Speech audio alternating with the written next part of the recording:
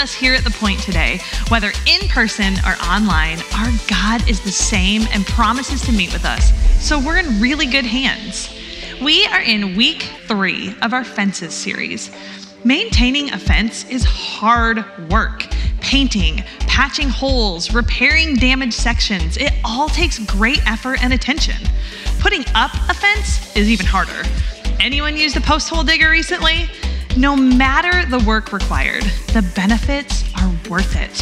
Fences provide protection and establish healthy boundaries. We've already learned two powerful lessons regarding fences that God wants us to experience in our lives, and today is no different. Grab your shovel or paintbrush and settle in for another great fence lesson later in our service. But before we get there, if you're brand new this morning, will you let us know that by sending us a quick text with the word hello to 812 359 1799 so we can be sure to say hi and answer any questions and welcome you personally. Many of us would readily admit that God has blessed us in amazing ways. As someone who has experienced God's generosity, I have a responsibility to share with those in need. Right now, there are hundreds, even thousands of families in eastern Kentucky who have nothing due to the ravages of flooding in that area. We want to come alongside them and provide some of what they need in order to let them know that we see them, and even more so, that God loves them. We've been collecting crisis care kits to send to the devastated area. There's still time for you to participate. Pick up one of the Ziploc bags at the donation kiosk as you leave today. Fill it with the personal care items on the list inside the bag, and then simply return it to us next week. If you don't have time to shop, hop on the church website or Point app and make a financial donation to Samaritan's Purse, just one of the ministry partners that's providing on site assistance to restore home sites in the flood zone. Thanks in advance for sharing what you have with others in need. If you've been around for a while and are ready to take the next steps in your spiritual journey, we're inviting you to participate in Rooted. Connection is one of our core values at The Point, and this 11 week small group experience will help you connect with God, your purpose, and with others. Rooted is a catalyst for life change and also the next step for those who are interested in membership here at The Point. This is the last week that you can register online at gotothepoint.com or on the Point app for the next session, which begins on September 11th. And if you're one of our regulars, do you know that it's because of your faithful giving that we're able to provide ministry like this to people like you who have been with us for years and people like those we meet each week who are finding us for the very first time? Thank you for being part of the ministry here. And if you've been with us for a while and you're curious about how to start giving, let me quickly run through the ways that you can do that on our website at gotothepoint.com. You can text the point give on your mobile device to 888 364 4483. You can mail a check to 311 Myers Street here in Seymour. And if you're in the room, you can place your offering in one of the boxes on the back wall of the worship center as you exit. Thank you. Giving like that is just one way to worship or say thanks to God for all that He has provided. One of the other ways we love to do that here at The Point is through song, which is what we get to do right now. Worship team, let's do it. Good morning, church. Let's stand and worship this morning. Let's get those hands together. There's joy in the house of the Lord today.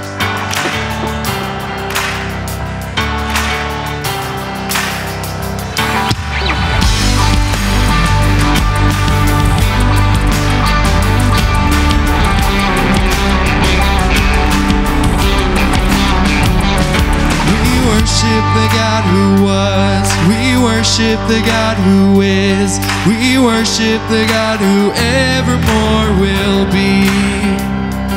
He opened the prison doors. He parted the raging sea. My God, He holds the victory. Yeah. There's joy in the house of the Lord. There's joy in the house of the Lord today. We won't be quiet. We shout out your praise. The joy.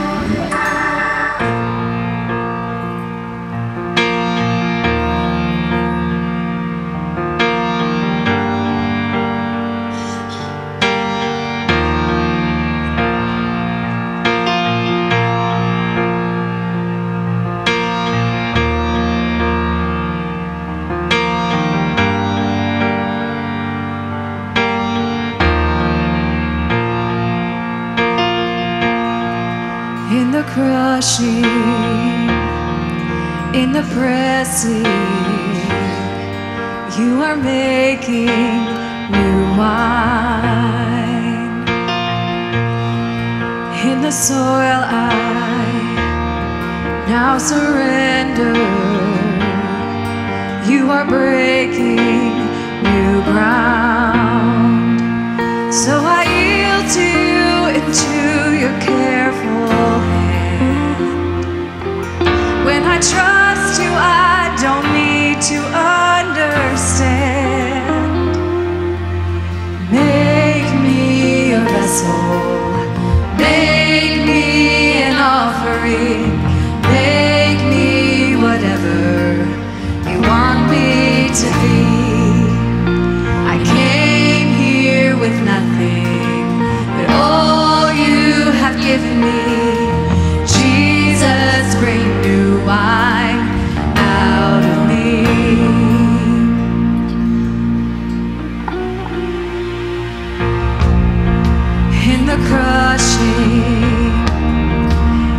Pressing,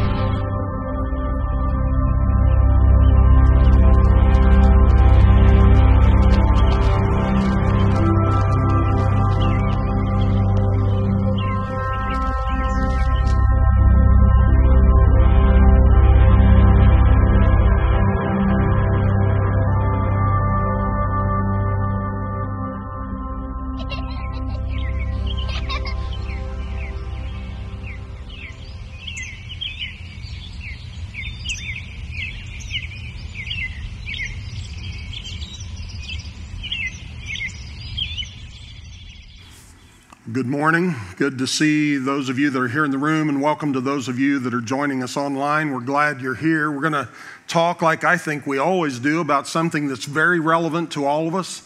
It has application for where you and I live today, and I pray the Lord will use it to speak to all of our hearts.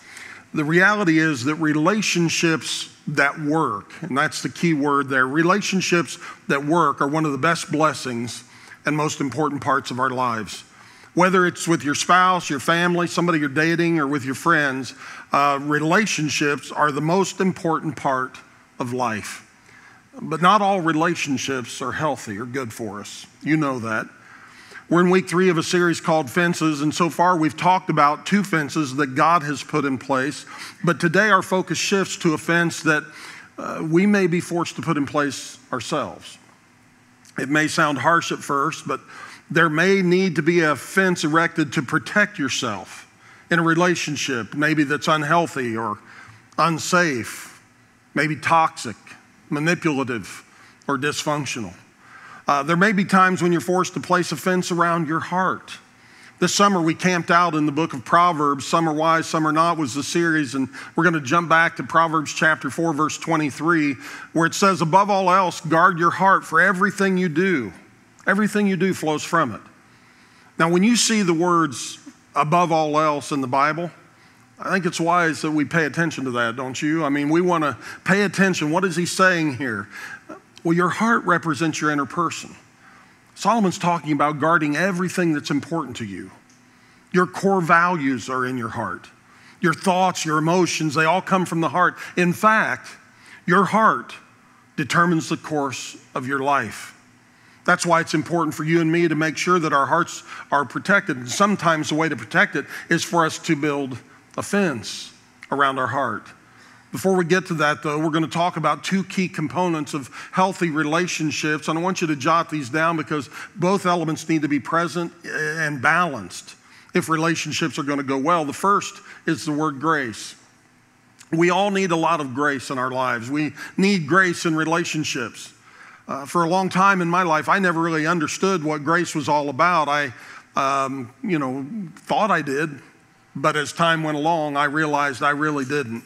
And uh, I'm not saying I fully understand it now, but I'm learning more and more about God's grace. And 1 Peter chapter 4, verse 10 speaks to that subject. It says, Each of you should use whatever gift you have received to serve others as faithful stewards of God's grace. We're all to be faithful stewards of God's grace in its various forms. See, grace is basically the reality that God is for you. Aren't you thankful? God is for you. He, he loves you. He's for you. He's on your side. He wants you to make it. And grace means that there's nothing that I can do to make God love me more. And the good news is there's nothing I've ever done that has made him love me less. He doesn't love me more if I perform well. He doesn't love me less if I mess up. I, I, I think it helps us to know the nature of grace is that God loves us unconditionally. And, and, the reality is, grace comes to us in basically two directions. First of all, it comes to us vertically. That's what we're talking about when we talk about grace that comes straight from God. It comes from His Word, it comes from the Bible, it comes from the indwelling presence of His Holy Spirit. That's the vertical part of grace. And then grace comes to us horizontally. It comes to us horizontally. That's where we are to extend grace to one another. That's where you and I extend grace to one another. And that's what Peter's talking about when he says that we're to be stewards of God's grace. Think about that. We, you and I, we are the delivery system that God chooses to deliver His grace and to deposit His grace in the lives of others.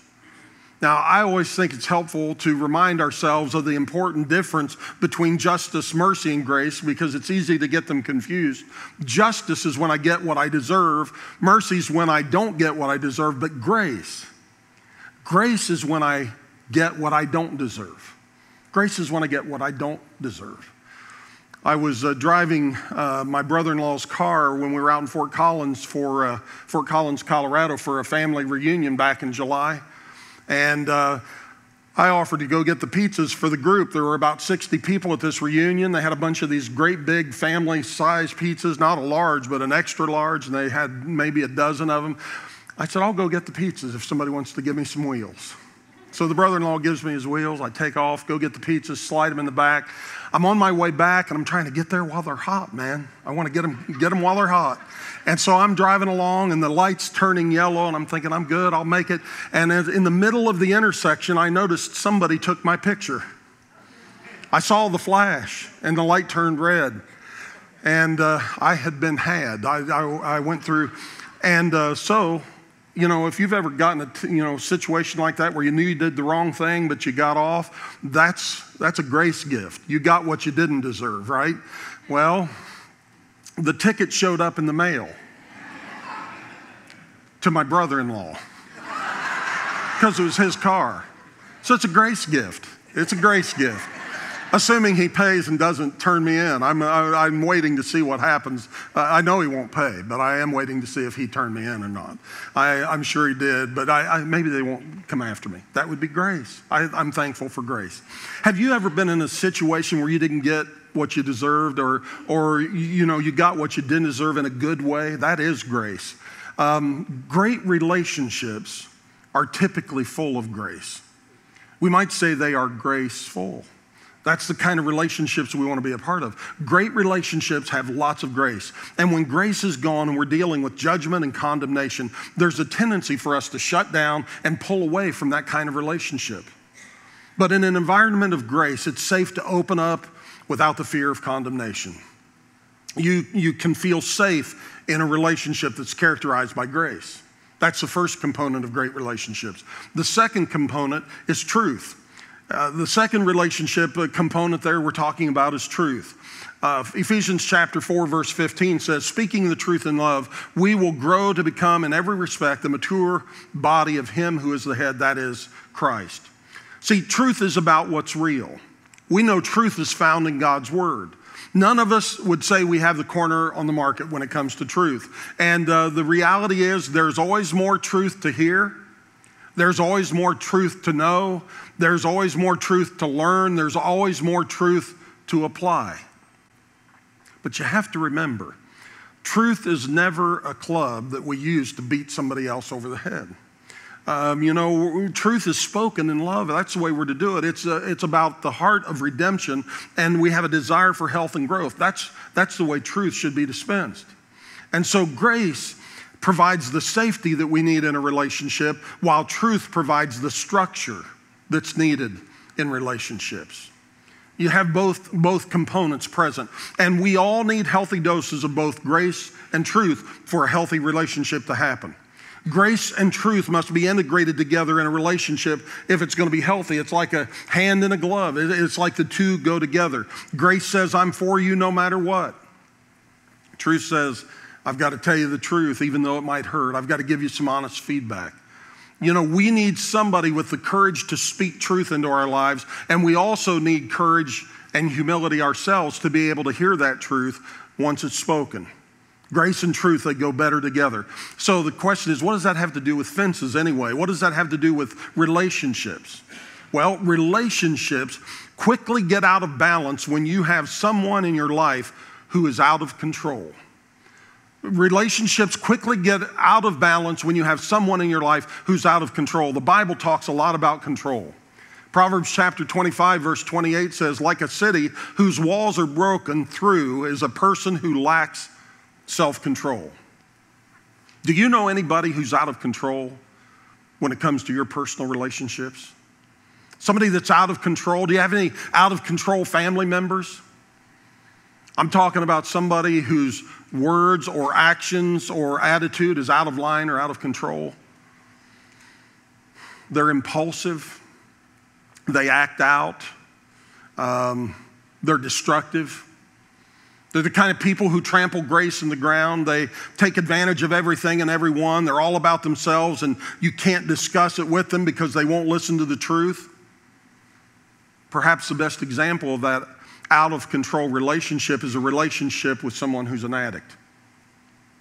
An addict is imprisoned by something, and it could be anything. I mean, our mind always goes straight to drugs or alcohol, but it could be pornography, some other substance, or even some behavior. Everything in life, everything centers around them and their addiction. And without offense, and some of you could stand and testify to this, without offense, they will trample the life right out of you.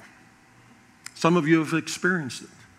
When you love that person, the temptation is going to be to start taking responsibility for their problems, take responsibility for their pain, their emotions, their behavior, and their addiction and the tendencies to try to fix them or enable them or rescue them, which is called codependency, which is unhealthy in and of itself. There's no balance of grace and truth in a relationship like that. Instead, the relationship is characterized by things like manipulation, lies, control. Those who live in these conditions, they're in bondage. And it's a miserable way to live. It's certainly not what God intends because nobody other than the Lord, nobody other than the Lord should have control in our lives. He's the only one. So it's up to you and me to acknowledge that we do have a choice in the matter. You have the freedom to make choices in every relationship. You have the freedom to have a voice in every relationship. But there are people that don't want you to have that freedom. They don't want you to exercise that freedom. They want to make you feel like you have to go along to get along. And so, to keep from rocking the boat, they make you feel like you have to do everything their way. And if you have a different opinion or another decision, things blow up. That's what's happened in the past, and that's why you feel like you have to walk on eggshells when you're around that person today because you don't want to rock the boat. You don't want to make them mad. You don't want to get them upset. You just try to keep it, keep the peace. And it's not easy to be around a controlling person like that. They may have a hard time controlling themselves, but they don't seem to have any problem controlling you and everybody else around them. Have you noticed that? There are two primary tools or tactics of a controlling person. Some people attempt to control others through anger. Uh, this is a person, if you don't do it their way, they're going to be mad and they will make sure that you know it. As long as you do it their way, everything's fine. But the moment you don't do it their way, they're going to blow up and shrapnel will go every place. Somebody's going to get hurt. Their standard mode of operation is to manipulate and control the people and the circumstances around them. If you don't do things their way, they're going to get angry. They're going to rant and rave and raise their voice. They'll escalate things, blow up, get short with you, use hurtful words, use hateful words, do hurtful and hateful things, and they might even get violent. They attempt to control by anger. There's another group, they attempt to control by guilt. Guilt. And they, you know, guilt doesn't say, you know, if you don't do it my way, I'll be angry with you. Guilt says, if you don't do it my way, I'm not going to be angry. I'm just hurt. I'm just hurt. I, am not mad, I'm just hurt. And I would tell you that both anger and guilt can be a form of control. Neither one is healthy. And I would imagine that every person in this room and every person watching online, you have uh, been on the receiving end of one or both of these unhealthy relationship tactics. And if you're willing to take an honest look in the mirror, I'm sure there would be some who would have to admit you've utilized these tactics yourself. You've used anger to manipulate, you have used guilt to manipulate circumstances or people. See, these behaviors are not the way God intends for healthy relationships to operate. And that's why we need fences. Dr. Henry Cloud and Dr. John Townsend have written some incredible books on the subject. They didn't call them fences, they called their books boundaries. They have a whole series of them. I'm sure some of you have read them, but if you haven't, I would highly recommend them. There's boundaries in marriage, boundaries in dating, uh, boundaries for leaders, boundaries with kids, boundaries with teens. See, boundaries are really what fences are all about. And fences help us restore balance in relationships because they show us how to protect our heart. See, in our daily lives, uh, you know, where you live and where I live, there are property lines. You know, we, we delineate our property with boundaries. You might put a fence around your home or around your property to identify or to, to delineate an appropriate boundary. In the same way, fences help us determine responsibility. Fences in relationships help us determine responsibility. When something goes wrong inside my fence, it's up to me to fix it. If my plumbing goes bad in my house, that's my problem. If my neighbor's plumbing starts leaking, I can go over and help, but ultimately, his plumbing within his boundaries inside his fence, that's his responsibility. Now, remember the proverb writer told us that we're to guard our heart. Your heart, my heart, that's the property line. That's the property line, and you're responsible for everything that goes on inside that boundary. I'm responsible for everything that goes inside, inside that boundary in my life. And so, with that in mind, I want to suggest a couple of fences that are wise to consider when it comes to uh, relationships and the important matter of guarding and protecting our heart, as the proverb writer challenges. Let's look at it. First fence, fence number one learn to love others without rescuing them. Learn to love others without rescuing them. See, loving and rescuing are two very different, two very different things. You know, make no mistake, rescuing, enabling, codependent, codependent behavior, these are not the same thing as love. Love says, I'm on your team, I'm on your side, I want you to win, but I'm not responsible to fix your problems. The Apostle Paul had this to say over in Galatians chapter 6. He said, Carry each other's burdens And in this way, you will fulfill the law of Christ. But then, just three verses later, I want you to see what he says. For each one should carry their own load. That's, that sounds confusing at first. I mean, what do you do with that? We're to carry each other's burdens, and each of us are to carry our own load. Well, the term burden, as it's used here, refers to a crushing load, a load that is so crushing you can't carry it on your own. It could be a health crisis, a financial crisis, it could be an emotional breakdown, a divorce, a lost job, all kinds of things. And so we're to help carry each other's burdens, these crushing loads that we cannot carry by ourselves. But the term load, that's more like a backpack. It's something that we can carry and we are to carry on our own. It includes things like our thoughts, our feelings, our emotions, our values, the things we cherish. These are some of the responsibilities that we're to carry personally. Life goes better when we help carry each other's burdens, those big boulders that we can't do on our own, but we don't try to take care of our own backpack or our own load, then we get in trouble. We need to find the difference between the two. Now, God never intended for you to fix somebody else's emotions or their financial problems or their bad attitude. That's up to them. I mean, have you ever tried to, to uh, take responsibility for somebody else's happiness? What a frustrating thing that is. It, it never seems to work. So, what we need to do is learn to love each other without rescuing. And so, I want to ask you a simple question that'll help you determine if you're loving them or rescuing them. Simply ask the question should they be doing this for themselves? Should they be doing it for themselves? It's very simple, you know, it, it, just to ask that question. And I'm talking about things like getting a job. Should they be doing this themselves or should I be out trying to find them a job? You know, what about getting clean, getting sober, getting rid of that bad attitude they've got, solving their financial problems, getting a handle on their anger or their attitude?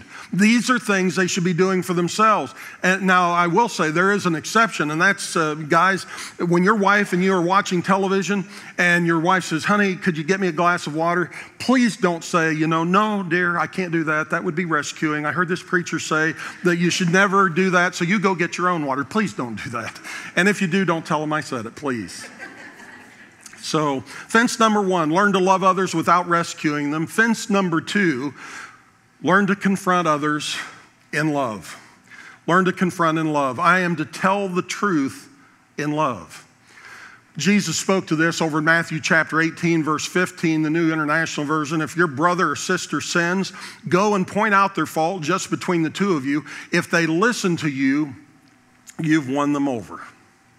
I have a feeling that today, as you listen or watch this message that there's going to be some that God is going to speak to you about somebody very specific. There's somebody maybe already on your mind, and, and the sense is you, you have to go have that tough talk. Guys, we need each other to tell each other the truth. We, we all have blind spots. One of the functions of relationship is to be able to walk into each other's life and say, hey, you missed a spot. Do you realize what you're doing? Do you see what's happening here? You may not be aware of the tone of your voice. Maybe you don't realize, uh, you know, how your behavior is impacting the people around you. We need that perspective to hear from somebody else. You may not be aware of how you're affecting the, the people in your life right now. So, so this is how we're supposed to love one another what you're trying to say to that person is, I, you know, I'm not trying to beat you up and I'm not trying to judge you. I just want the best for you. I want a better relationship with you. It's about us, it's a better us. And so I want to give you a couple of practical tools and skills that can help you deal with that out of control relationship that maybe you're thinking about right now. First of all, when you're dealing with that relationship, you have to start from a position of love. Start from a position that says, hey, I want you to win. I want this person to win. Jesus said it like this in John chapter 13. He said, A new command I give you love one another as I have loved you, so you must love one another. You can love somebody without liking them. Did you know that? You can love them without liking them. You don't have to like somebody if they're unlikable, but you do have to love them, and love is a choice. And you say, Steve, I don't know if I agree with that. Well, hey, God loved us when we were unlovable, unlovely, and didn't love Him in return. He loved us when we were unlikable, But He chose to love us, and we're supposed to love other people when they're totally unlovable and unlikable themselves. So you start with a position of love. And then, secondly, you have to learn to say no when it's best to say no. And sometimes I just want to stand on the rooftops and shout it out uh, in our contemporary culture and say, hey, parents, no is a good word. Say no once in a while to your children. It won't break their spirit. I've never heard of a child dying from being told no, never once. But we all need to say no every once in a while. There's nothing wrong with a heartfelt no. No can be a fence that you're putting in place not only for your health, but for the health of the relationship. And when you put up a fence by saying no, you're essentially saying, hey, that doesn't work for me. No, that doesn't work for me. And it's such a great statement. It's, it's nice, it isn't mean, it, it doesn't close off the conversation. Just say, nope, I'm sorry, I can't do that. That doesn't work for me. That doesn't work around here. We're not going to do that. That tone of voice that you have in this conversation, that doesn't work for me. Those hurtful words that you are speaking, you just, you know, need to realize that doesn't work for me. Your inappropriate behavior, that doesn't work for me. And then the third thing, we may have to go ahead and enlist some consequences as necessary. Enlist consequences if necessary. Sometimes you've got to go beyond saying no to doing no. This is where you move beyond words to action, and this is where consequences come into play. Proverbs chapter 19, verse 19. A hot tempered person must pay the penalty. There it is, must pay the penalty. Rescue them, and you will have to do it again. And some of you could say, Yep, been there, done that. There's a price tag on inappropriate behavior. Now, don't raise your hands, but let me ask you anybody have a rageaholic in your life? Or have you ever had a rageaholic in your life? They've learned that all they have to do is rant and rave and raise their voice and they'll get whatever they want. They just throw an adult version, if there is such a thing, of, as a two year old temper tantrum. They love to keep everybody walking on eggshells, afraid to speak, afraid to do anything, don't want to set them off, don't want to, you know, get them to, you know, boil over again. See, you know, they love to keep everybody in that mode. Don't go there. Don't do it. The Bible calls them foolish, and there's a better way to live because there is nothing healthy, sane, or reasonable about that kind of lifestyle. But if you're going to get there, if you're going to work through this and get to a better place, there's going to have to be some consequences for that kind of behavior. For instance, you know, if you continue this kind of behavior, I'm going to leave the room. Or if you continue treating me this way, I'm going to leave the house. Or if you continue talking to, this way, to me this way, I'll, uh, I'm going to end this call. I, I'm not going to do this. It doesn't work for me. And when I have chosen to have consequences, to enlist consequences, that's when I have erected a fence in my life. And enforcing consequences, I'm going to tell you, it may feel difficult at first, it may feel mean. They may react even in a greater level, to try to ramp up the volume, to get their way, to get you to do what they want. But I'm telling you, hold the line, enlist the consequences, build the fence. It may feel mean or uncomfortable or awkward at first, but it will get easier and it is worth it. Let's face it, if, if you look at that relationship you're thinking about right now, and you think about what you've been doing for the last three, five, ten years, 20 years or more? Is what you're doing working? Really? I mean, could you honestly say that it's working? I mean, if what you're doing hasn't worked by now, it probably won't. So why don't you give this a try? And I'm going to be honest and tell you hey, it may get worse before it gets better if you do this. But these principles align with Scripture. And I really do believe it's worth a shot. I'm going to leave you with some good news, and maybe you need some good news by this point in the message. There is always hope for a great relationship. Now, you may be saying, Steve, you don't know my son, you don't know my daughter, you don't know my parents, you don't know this friend. I know with God all things are possible. And I believe there's always, always, always hope for a great relationship And that's really what fences are all about. Fences aren't about destroying things. Fences are about protecting things. They're about making relationships better. 2 Corinthians chapter 13, finally, brothers and sisters, rejoice, strive for full restoration, encourage one another, be of one mind, live in peace. God wants to help you develop, nurture, and restore healthy relationships. And I suspect some of you may have someone in mind right now. There's a strained relationship that you're thinking of. And maybe it's gone on for years.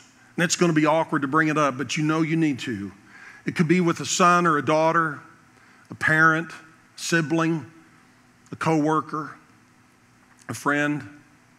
If you're facing relational turmoil right now, I think we can all agree that is not God's desire. It's not His will. He has something better in mind. And the question is are you open to what He might say to you? He certainly wants you to love them. And I believe that He will give you the grace to do that. You probably will need to set some limits. And I believe He will show you how to do that. And you may have to enforce some consequences. And I believe God will give the, the wisdom and the courage to know how to do that effectively as well. But if your present approach would have worked, things would have changed a long time ago. You may, you may choose to punt the problem down the field a few yards and get by and keep the peace today, but that'll help for the moment, but inevitably, you've seen it happen. That issue just keeps cycling back around again and again and again, and we pick up right where we left off. I just want to tell you this morning it's time to change the narrative. And with God's help, we can do just that. He wants to help us establish and build relationships that are fully balanced with grace and truth and love. Let's ask Him to help us as we pray together. Would you bow with me, please? God, we desperately need your grace and truth in our lives this very hour. I believe this message has application for all of us in some way, shape, or form. And so today I pray that you would help us know when to say no, when to say yes. We pray for these difficult relationships. And I would just invite you right there at your seat or as you're watching online, I would invite you to pray specifically for a person, for that relationship that's on your mind and on your heart right now. Pray that God would give you the courage and the wisdom that you need to be able to have the tough talk. And this is important because that tough talk, it may be the one that saves someone's life. It may be the one that saves that relationship, restores that relationship. It may be the one that helps save their soul. Lord, we know we can't be responsible for anybody else's heart, only our own. But that's why we need fences. And so remind us of our responsibility for ourselves and for one another. And I do pray for the wisdom to know how do we apply this message to our lives today? And then give us the courage to step up and do whatever it takes. We want your will to be done. We want you to be honored. We want you to be glorified. We want to be able to live with no regret in regard to these relationships that have the potential to be one of the greatest blessings of life. In Jesus' name,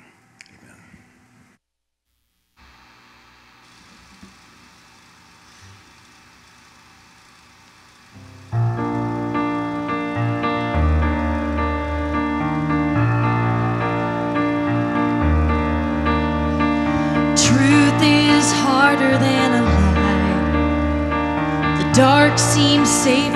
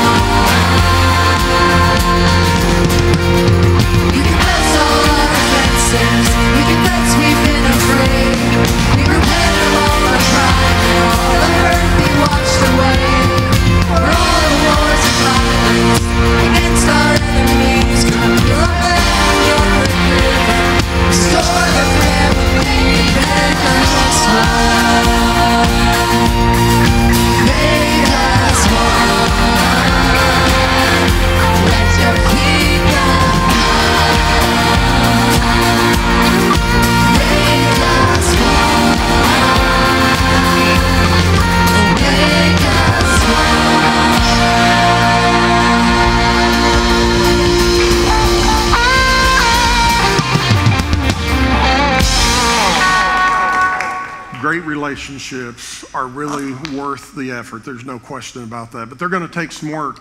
We have on our website at gotothepoint.com and also on the app, Go to the Point. You can search that in your app store if you need it. We have resources where you can go back and do some uh, discussion, uh, a message application guide that will help you work through some of the content of the message today.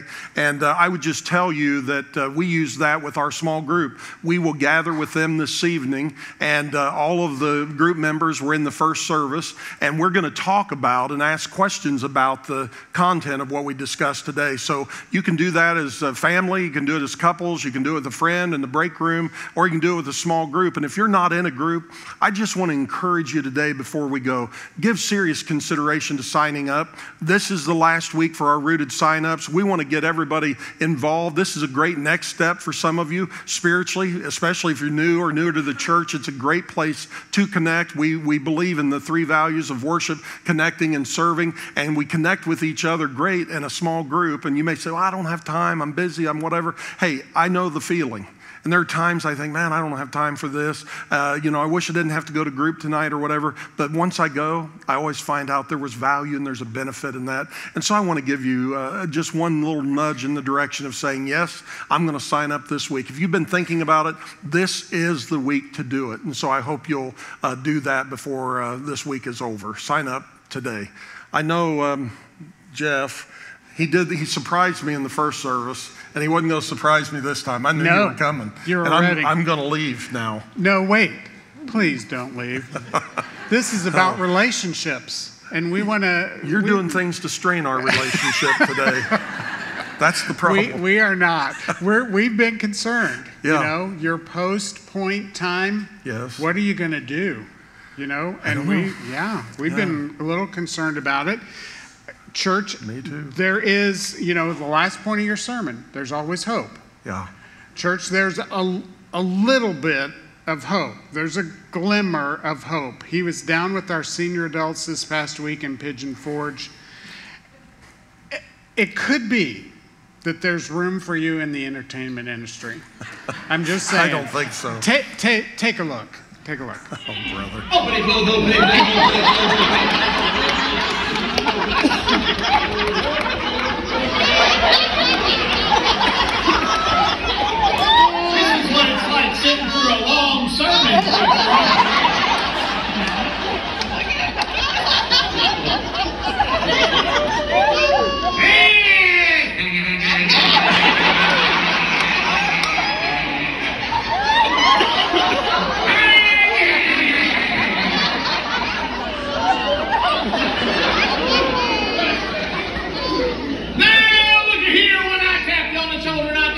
the shoulder. Clapping your hands together one time. Each time I tap you on the head. Open and close your mouth one time. Each time I tap you on the shoulder, clap your hands together one time. Sit up straight. Look straight ahead.